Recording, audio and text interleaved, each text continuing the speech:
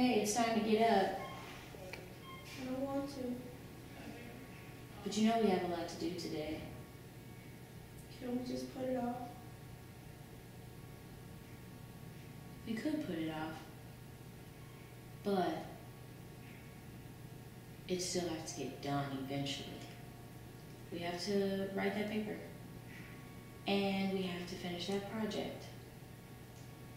And we have to email our professor about why we didn't go to class yesterday. So we might as well just get up and do it right now. I just don't feel good. You didn't feel good yesterday or the day before that. Is there something wrong with me? I don't know. Maybe there is something wrong with you. Maybe that's why you haven't talked to your mom in three weeks. Maybe that's why you haven't seen your friends all weekend. Maybe that's why you don't read books anymore, you don't watch TV anymore, you don't listen to music. All you do is sit on the couch and do nothing. I just can't bring myself to do anything. Well, that to change because we have stuff to do.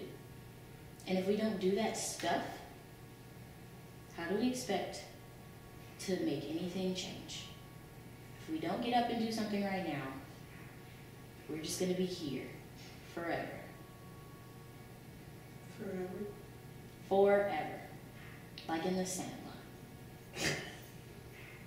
See? There you go. That's a laugh. I really like that scene. That is a really good scene. I mean, it's a really good movie. The Sandlot is spectacular. Do you remember when we used to watch it all the time? Yeah, we used to have it on repeat. Know all the lines. And now you're killing me, Smalls. See, you're getting better. So why don't we go do the things that we need to do? You're right. I mean, we can take it one step at a time, though. We don't have to do everything today. All I gotta do is get up, huh? All you gotta do is get up. I mean, if you're ready.